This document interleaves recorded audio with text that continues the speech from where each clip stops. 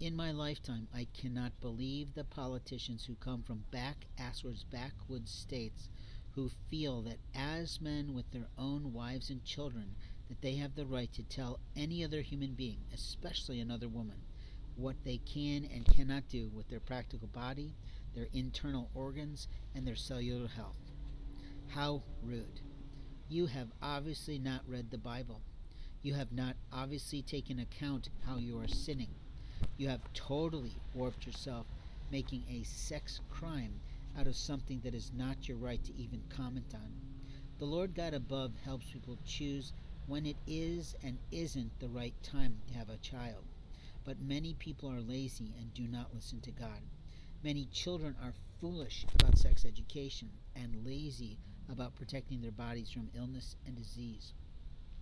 The Lord Most High has brought about another epidemic and pandemic, or it's a total lie just to gather medical health information in a way that's highly illegal and federally immoral. But let's talk about you. How do you feel about me is never an idea in my mind. How I feel about you is rarely an idea in my mind. What I speak about is what the Lord puts on my heart to talk about. What I create is what I create. And sometimes I get minded from people, please create this, please create that because I'm trying to get a job and I have to have a portfolio like that. In life, we have moments of time to decide what our career is going to be, what our industry will have to be, and where we can make the most of a living. But any time that you do something that violates federal law with regard to public privacy acts and human decency responsibilities, you're about to be put in the ground.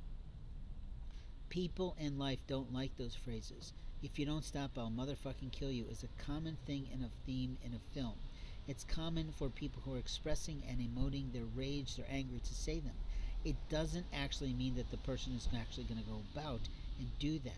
But I bet you some player will come up and try to play me with that stupid information that I just said. The statement is simply a way to get rid of a heart full of dread. Because people violate other people's human rights and human decency rights every single day. But let me explain something to you, you motherfuckers who think you've got a right to tell me who I can lay and where I can stay. You have no fucking right to my genitalia, my personhood, my paperwork, my property, my possessions, and my choice of family.